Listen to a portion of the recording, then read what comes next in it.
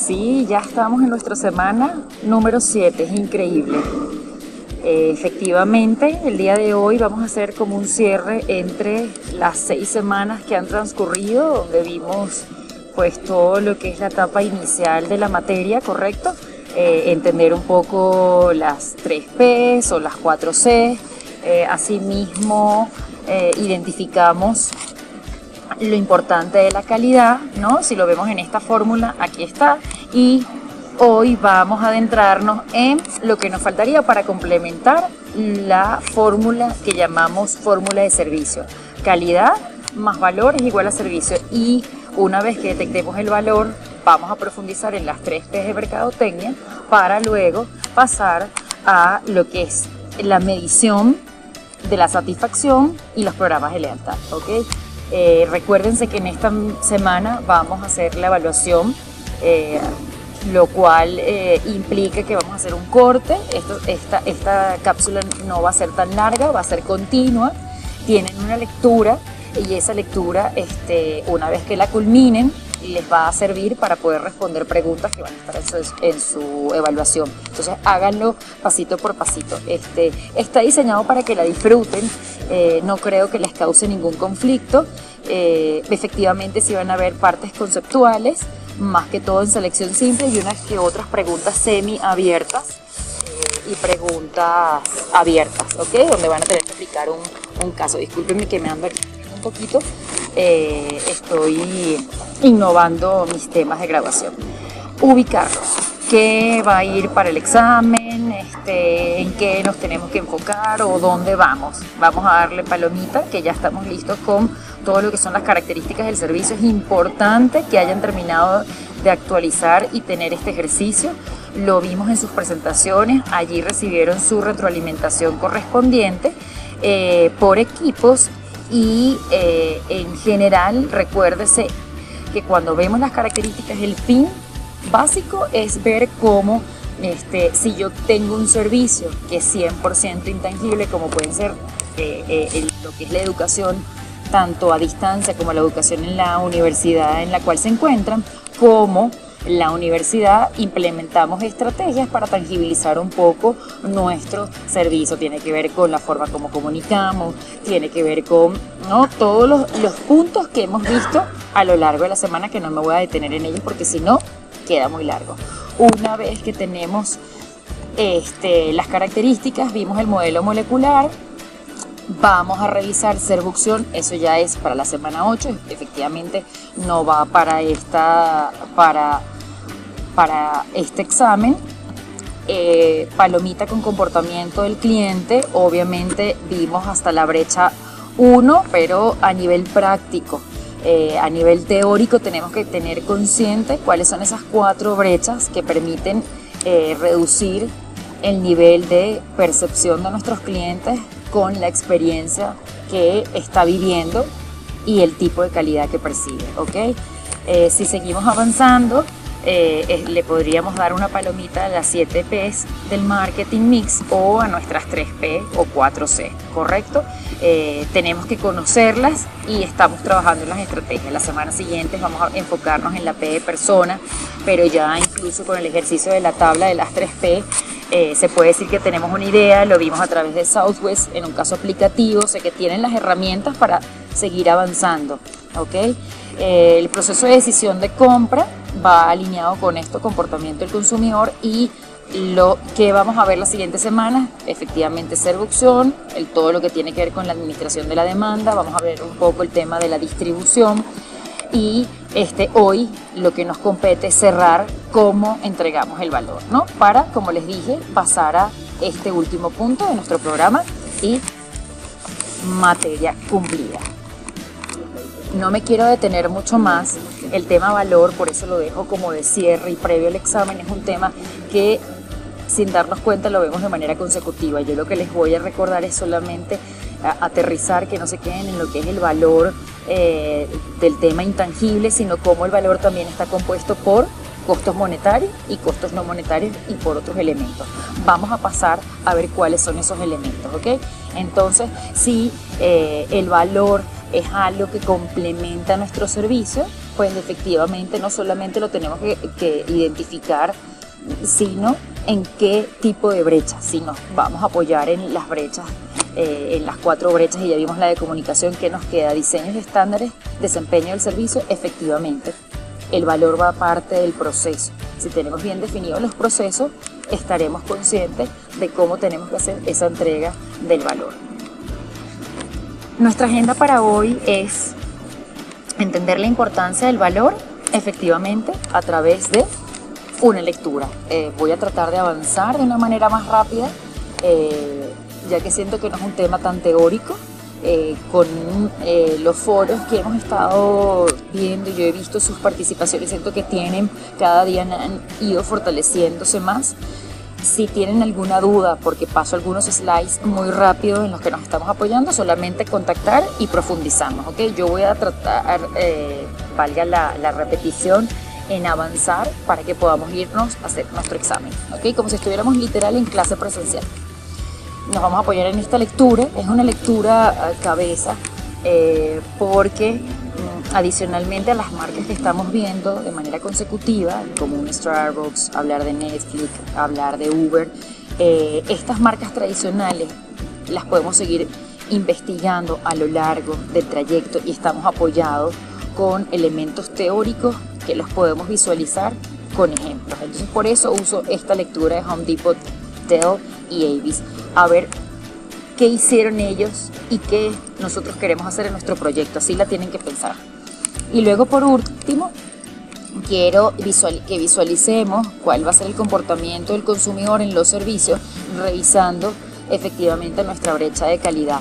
Cuando hablo de nuestra brecha de calidad, la número dos es porque vamos a ver toda la parte de servicio. Vamos a hacer una introducción al proceso de seducción que ya les quedará su lectura para que profundicemos en el tema. ¿Y cómo lo vamos a ver? Apoyándonos en la lectura independiente de cada uno de ustedes. Vamos a dar paso al caso eh,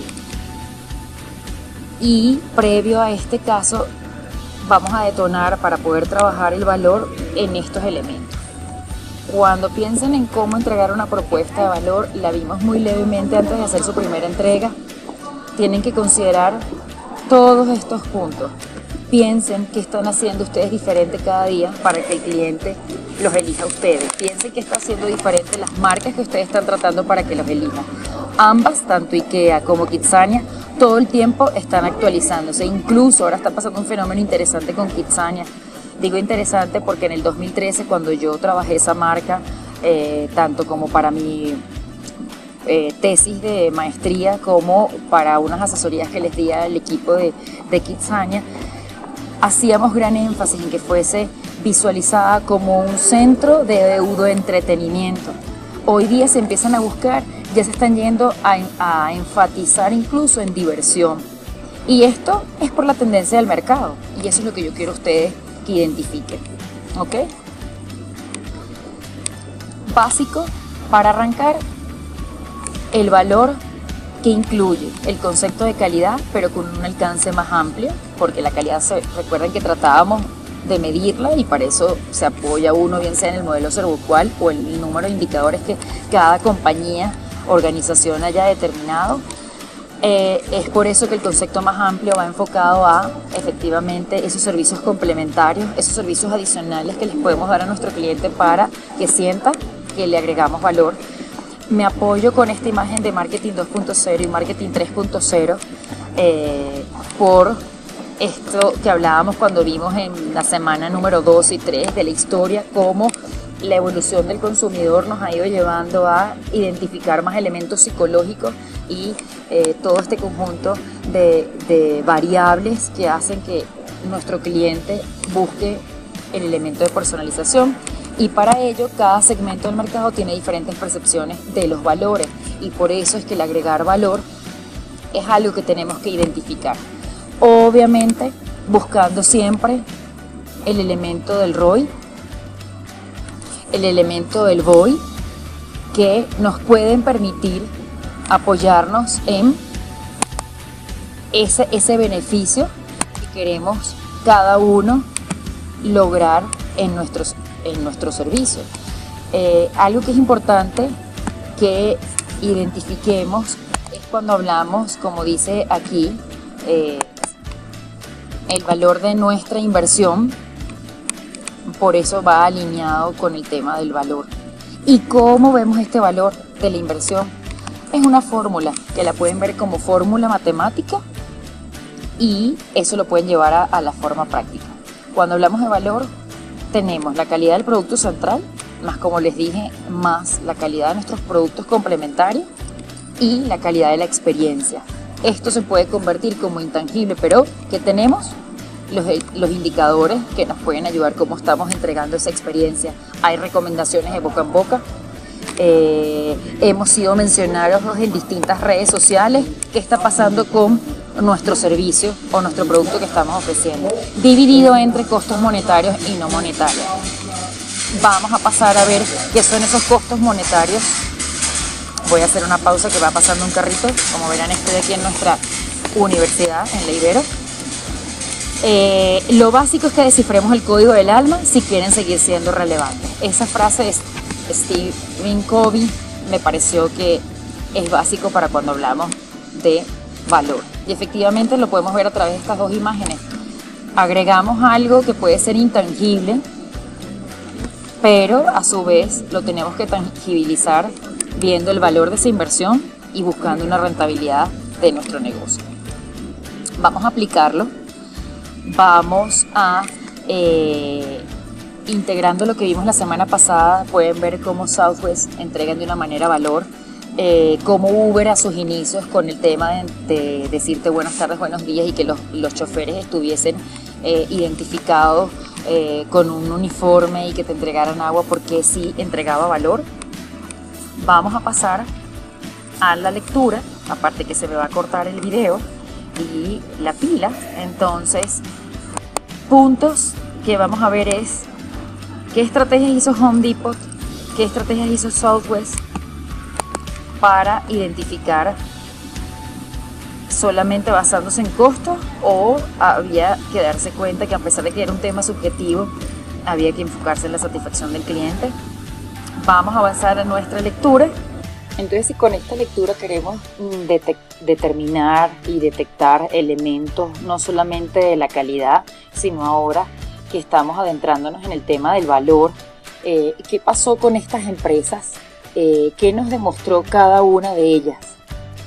Cada una demostró distintas estrategias, pero si se ponían a ver, el problema principal o, el punto a, destacar en, cada una de ellas es efectivamente esto está trasladado a la época de la debacle de los Estados Unidos o la época de crisis, por decirlo de una mejor forma eh, eh, económica, que fue el año 2007-2008, épocas en que se usa mucho en mercadeo, a pesar de que ya han pasado increíblemente 10 años, eh, y van a ver cómo los ciclos se repiten porque vamos a, identificar cómo eh, ahorita después de 10 años vuelven a ocurrir elementos similares en algunas marcas. Tenemos el caso de Uber que no tiene 10 años en el mercado pero le está ocurriendo algo.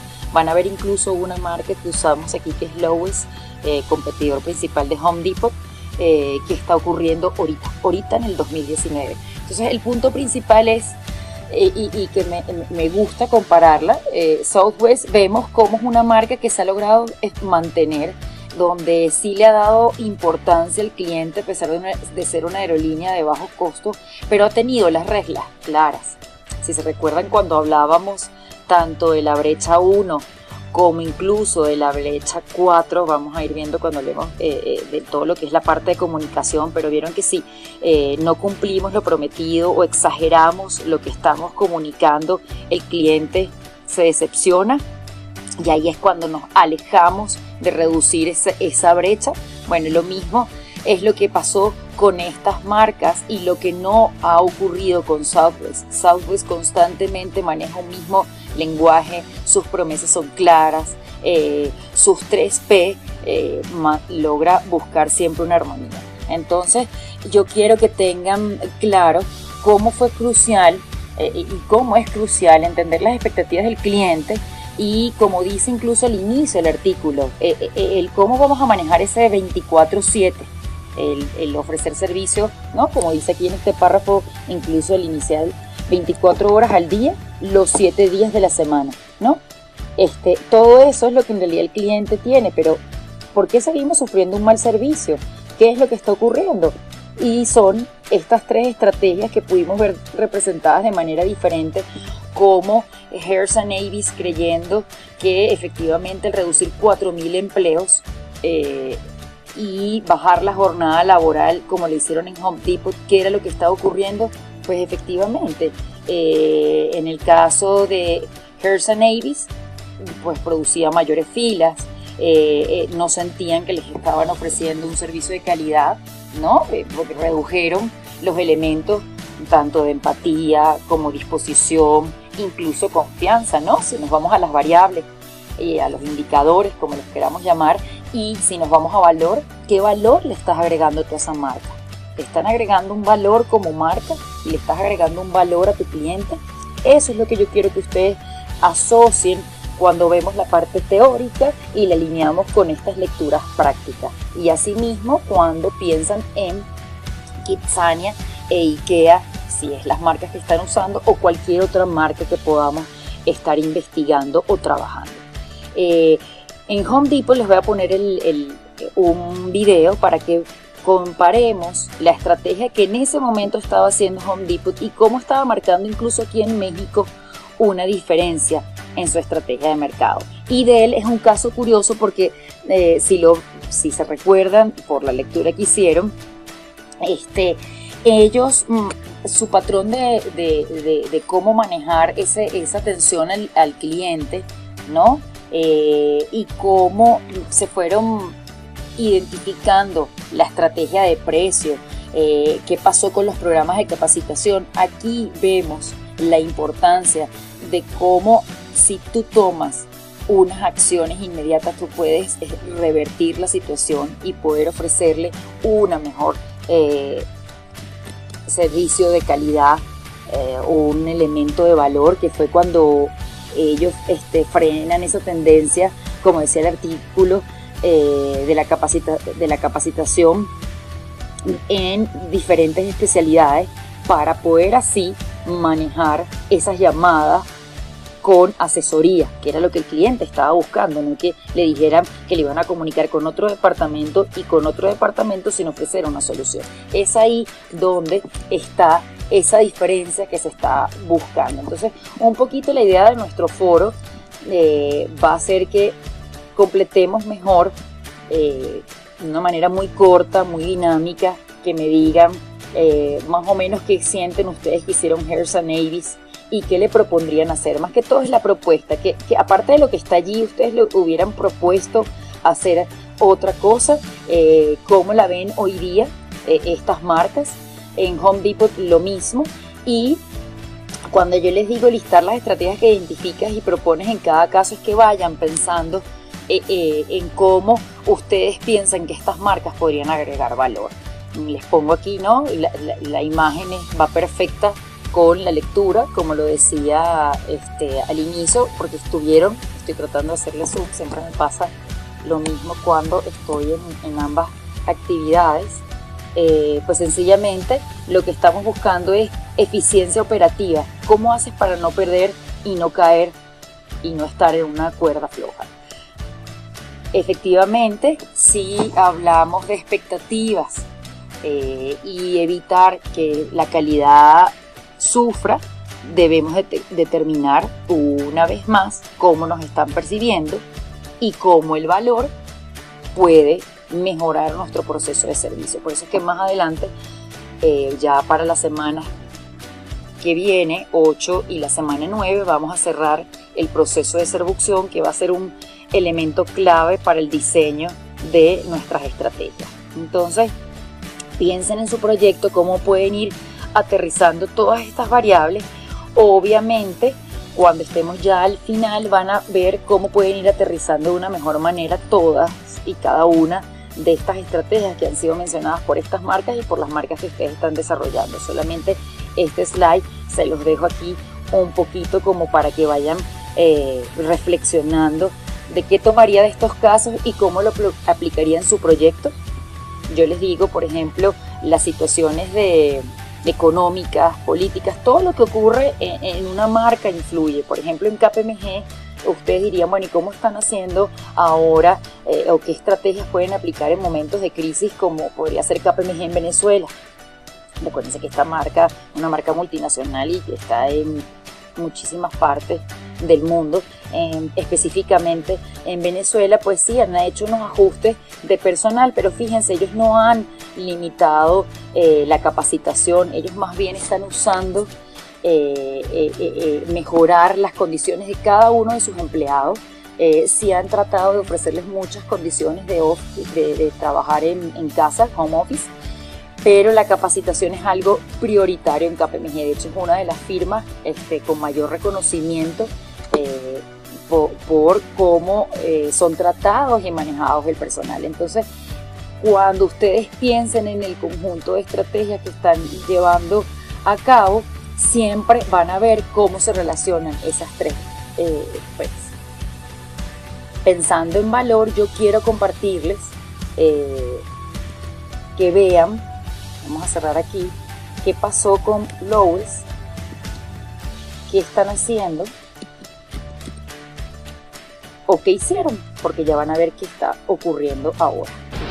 Siempre vamos a estar buscando el, tener productos adecuados, productos de buen diseño, productos que el cliente busca, que el cliente quiere, y tener productos de, precio especial que el está buscando. Esta área de acá, de este lado que vamos a ver ahorita es nuestra área de pisos. Es un área en donde también se, nota mucho la diferencia que hicimos para adaptarnos al mercado nacional. Aquí Si vuelvo con ustedes y ya una vez que revisamos este video, efectivamente, en ese momento, eh, en ese momento me refiero hace un par de años cuando fue publicado este, este video, la diferencia principal que manejaba eh, esta marca era reforzar una estrategia distinta a lo que estaba ofreciendo la competencia, que era Home Depot. Al inicio tenían una primera tienda que nada más estaba en Monterrey y hasta la fecha en el 2018 noviembre llegaron a 13 tiendas. Y una de las cosas que buscaban era adaptarse al mercado nacional y usaron reforzar las marcas nacionales, no solamente las marcas que como empresa estadounidense ofrecían, sino darle crédito a las marcas nacionales y ofrecer los productos de una manera distinta a la competencia. En ese momento que yo ofrezco los productos de una manera diferente a la competencia, que hago este, campañas promocionales diferentes, donde eh, busco eh, enaltecer las marcas que ofrezco es cuando yo empiezo a conseguir una diferenciación y es cuando incluso podríamos hablar del elemento de valor, ¿ok?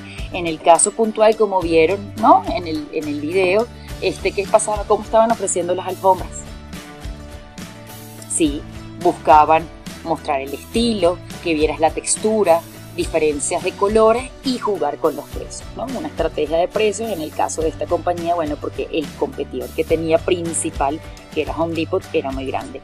Hablo en pasado eh, porque efectivamente, para los que no lo saben, lo que ha venido ocurriendo con esta marca es que para el año, para el cierre del año pasado, empezó a perder rentabilidad, tuvo una época del 2000, del 2010 al 2012 y 13 que le estaba yendo bastante bien, pero ahora eh, la firma pues, estadounidense no les ha ido nada bien y han tenido un han reducido sus utilidades en un 27.86% menos comparado con el periodo del 2017. Entonces están planteándose vender estas 13 tiendas y eh, pues sí, efectivamente, ¿quién va a mantener el, liderazgo? Home Depot. Ahora vamos a ver qué pasa con la entrada de IKEA. Eso es lo que yo también espero que los equipos que están manejando esta marca nos cuenten. ¿Qué va a pasar?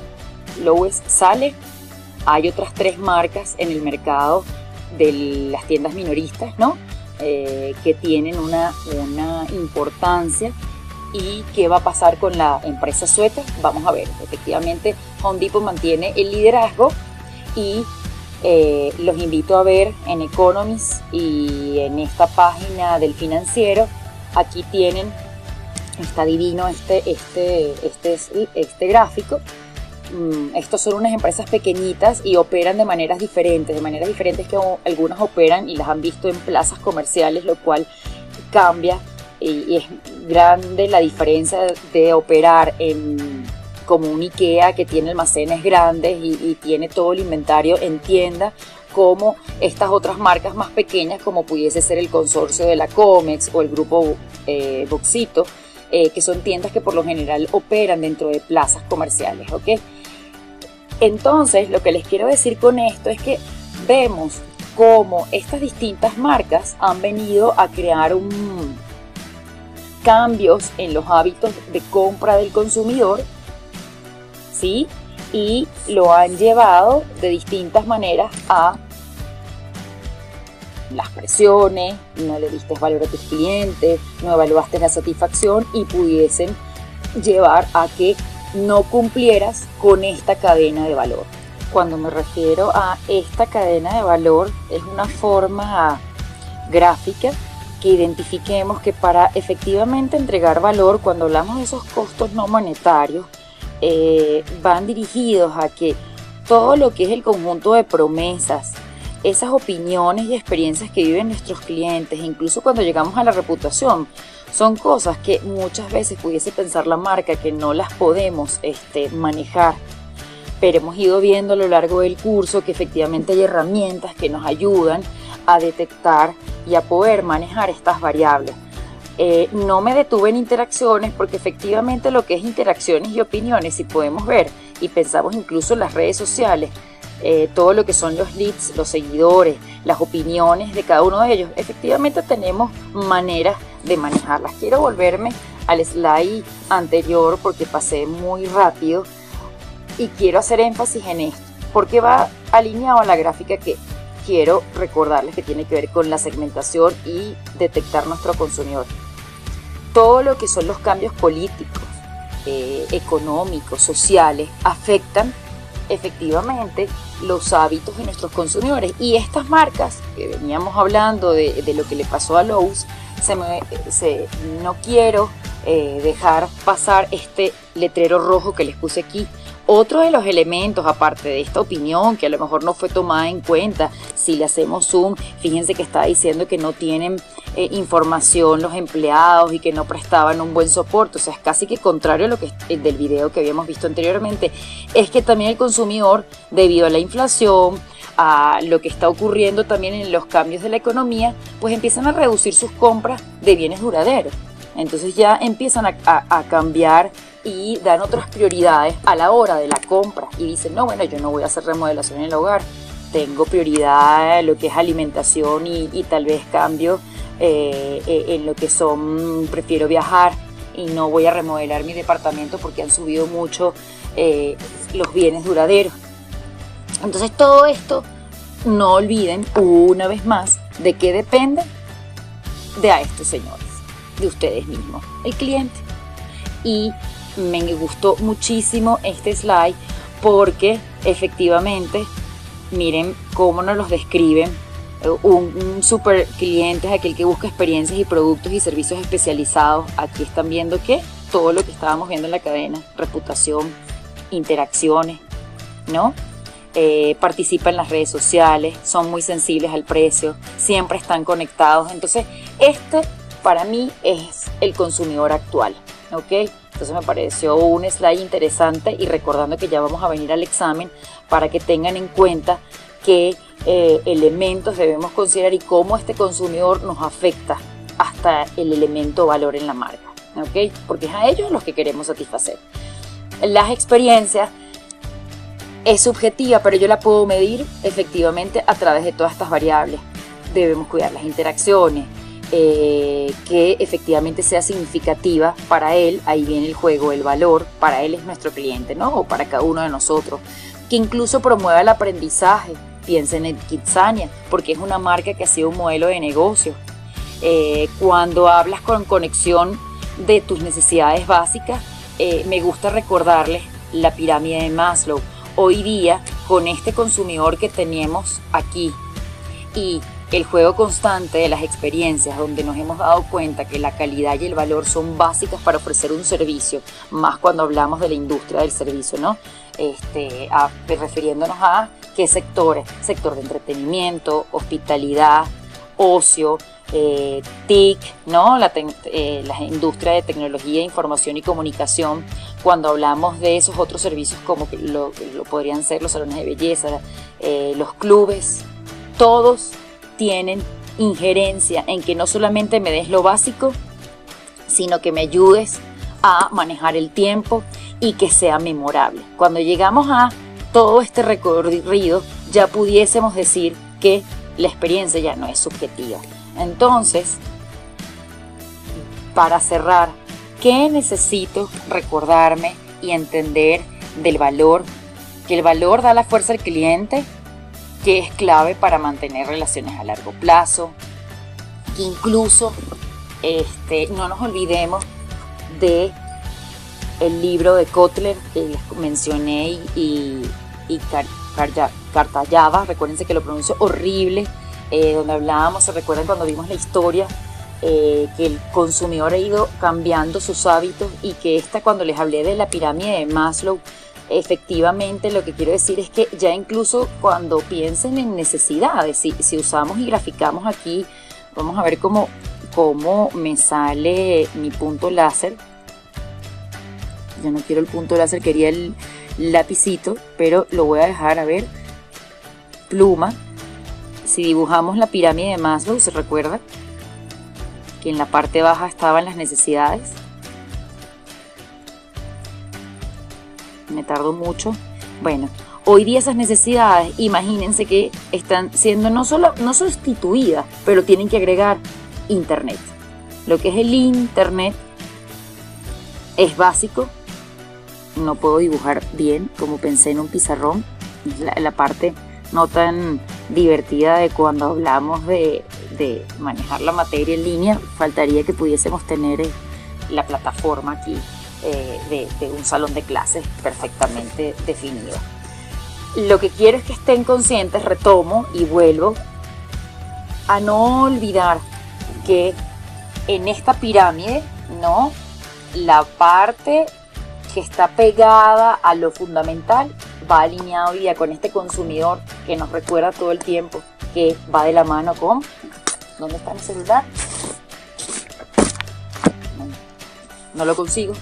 Estamos ahí al celular todo el tiempo pegados a él y por eso es que las necesidades van de la mano a esas interacciones continuas en las redes sociales, en las plataformas digitales, en esas conversaciones que podemos tener a través de un conference call o de la atención al cliente a través del, sistema de tecnología de automatización.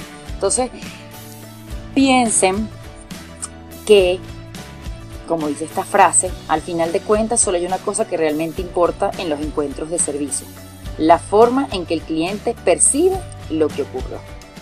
Efectivamente, cuando hablamos de percepciones, eh, nos referimos a que tenemos que tomar en cuenta a el cliente, que tenemos que tener en cuenta a los empleados y cómo estamos o no rediseñando ese servicio para incluso modificarlo con la automatización. Y de esa manera es que empezamos a agregar valor. Vamos a cerrar eh, con dos ejemplos. Uno es para que vean cómo en, IKEA este, proyectamos perfectamente o proyectan, porque yo no soy dueña de IKEA, en la parte de valor y cómo si ven este esquema. Eh, podemos ubicar dónde nos encontramos. Cuando hablamos de la calidad del servicio interna y satisfacer a los empleados, ¿qué tenemos que ver? Cómo diseñamos nuestras actividades, cómo estamos describiendo las tareas, si estamos capacitando, reconociendo a nuestros empleados ¿verdad? Eso es todo lo que tiene que ver con la parte interna. Por eso es que esta parte que vemos aquí de diseño de actividades y descripción de tareas es cuando vayamos a ver los procesos de seducción. Van a entender por qué primero vimos qué pasaba con las brechas y cómo las podemos ir atacando a través de todas las, las 3P de nuestros servicios. ¿ok? Eh, esto sería el segundo paso como lo subrayamos en, en rojito, que estamos hablando efectivamente cuando identificamos qué pasa con los empleados, cómo les doy recompensas, lo vamos a ver en la semana 10. Y ahora que estamos ante el valor del servicio, efectivamente lo que estamos buscando es, obviamente, unos buenos resultados para nuestro cliente, para llegar a la satisfacción, generar lealtad y eso nos va a permitir que retengamos a nuestros clientes, que aumentemos nuestras ventas y que generemos utilidad. Y todo esto vuelve al inicio. Entonces el valor, como verán, está en el medio.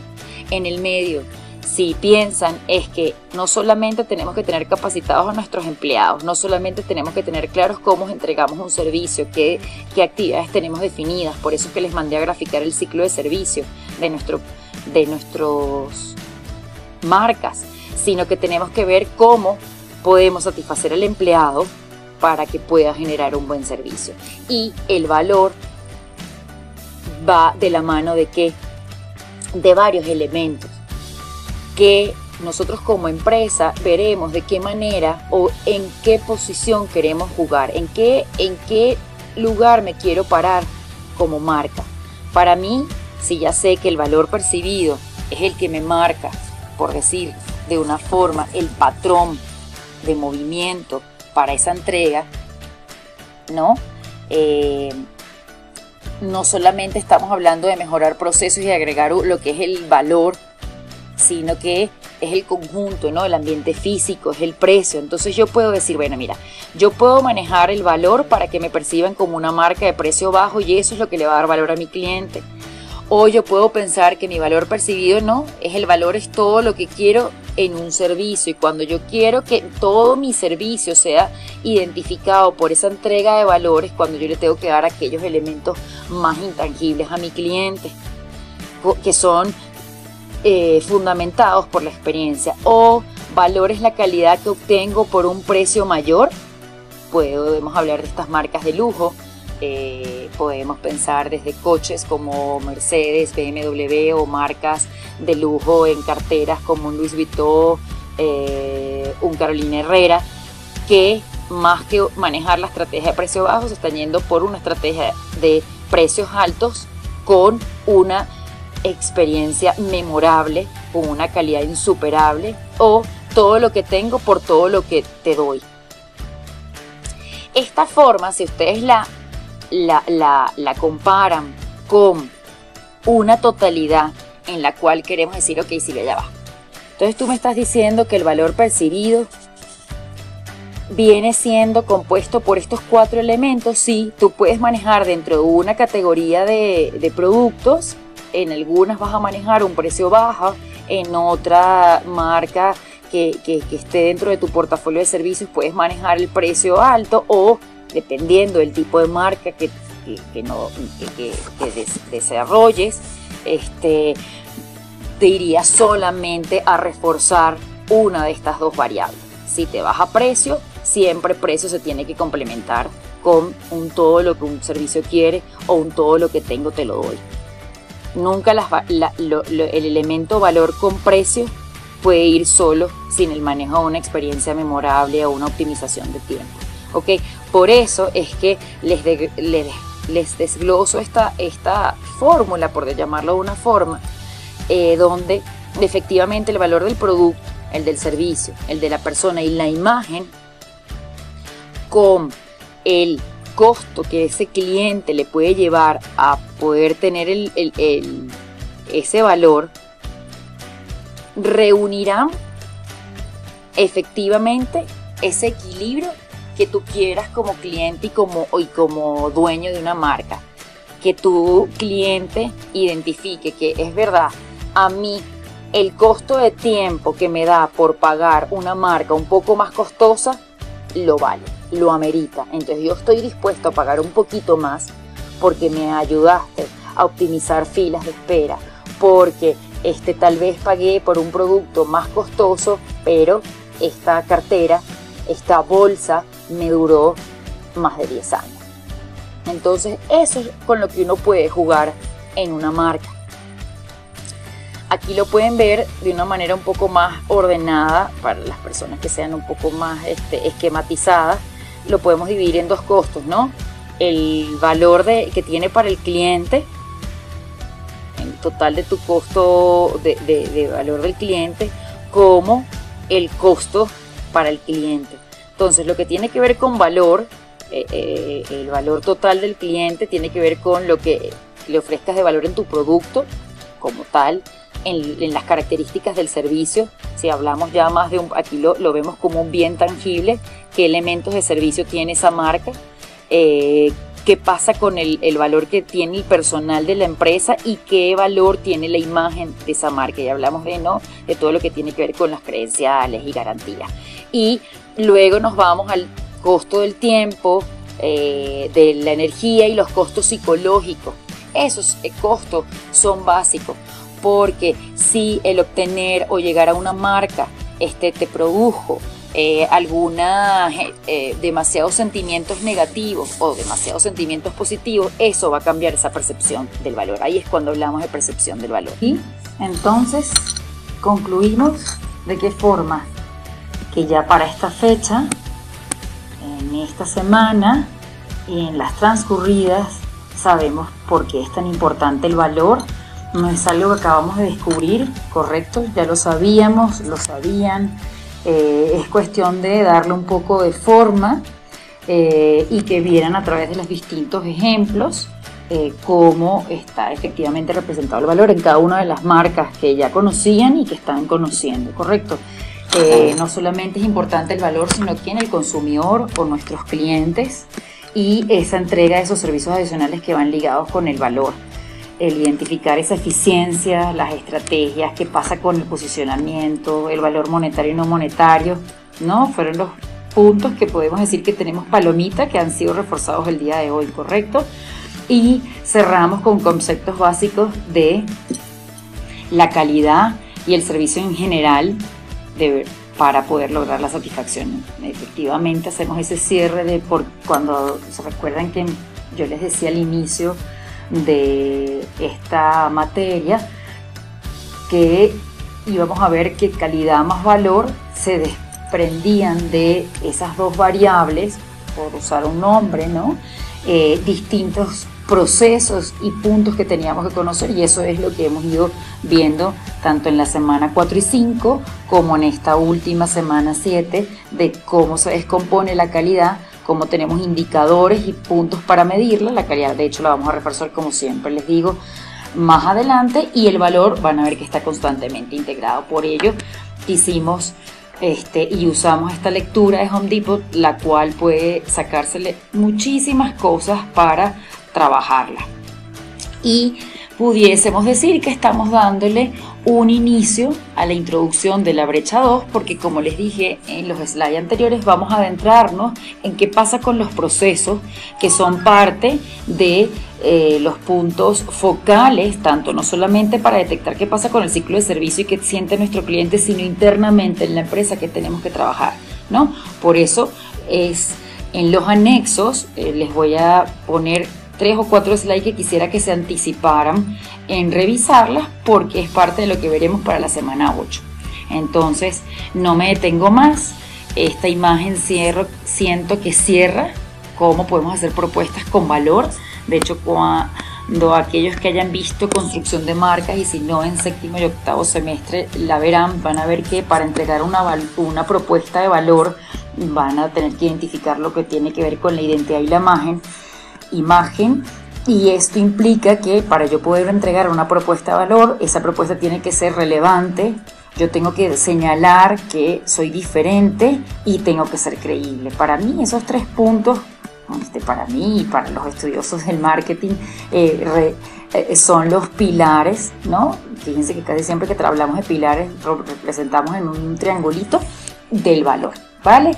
No me detengo más y me voy con este video de Coca-Cola que siento que el que tenga tiempo puede verlo y si no la cortan aquí y se van a su examen. No olviden revisar los anexos. Vámonos con el video de el caso de Coca-Cola y los micromomentos. Mobile is at the core of everything we're doing. If we can't make a story work on a 4 inch by 2 inch screen, then it doesn't work and it doesn't go further. We're focused on engaging teens and young adults. Teens have two states of being they're either asleep or connected. They're always searching, they're always looking for interesting content. One of the things about these millennials and, and these teens is Right or wrong, they're very sort of self obsessed. If you like your image the most, you like your name the second most. Tapping into that was a root insight of Share Coke. Provoking passion, provoking reaction, provoking happiness are all the things that we want to do. What we've done with Share Coke is taken our name and our brand off our labels of many of our most popular packages and put consumers' names on. We've seen such great engagement. Consumers' habits now center around search, and that creates the opportunity for a brand to engage. What consumers want to do in the moment with Share Coke is find their name. If they're at a shelf or they're seeing some of our content, the natural question is, well, what about me? And is my name on a Coke? When they're in that moment looking, we want to be able to receive them and answer that question as easily and quickly as possible. We get them through search over to shareacoke.com. They can check if their name is available on a package. If they want to go further, they can order their own bottle. So the online component was really, really important on the fulfillment aspect. We want to close the loop always. So that ability to answer that consumer's need in that moment is really critical. We see the huge business shift for us in every market that we've had Share a Coke. In North America, no exception to that. On some of our biggest and most important packages, we've seen double digit increases. We've had now over half a million bottles created online and fulfilled online. The platforms will change and the means to communicate might change, but the fundamentals will look the same. You too must meet your consumer where they are, engage them in a way that's meaningful for them. It's just that simple.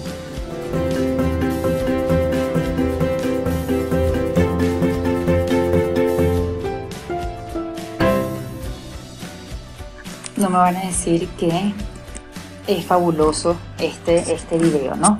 Si se fijan es una mezcla entre los micromomentos que están sintiendo Coca-Cola que vive el cliente, refuerza cómo tenemos que estar pendientes de no solamente la plataforma en que nuestro consumidor está, sino es en dónde le puedo hablar.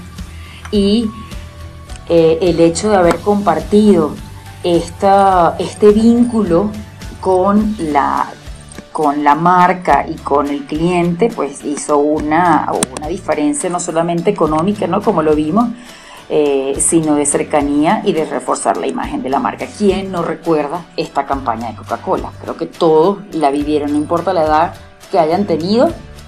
Este, de hecho, no es una campaña muy vieja, estamos hablando de hace dos años y medio, ¿verdad? Entonces, chicos, cerramos el cierro con esta frase.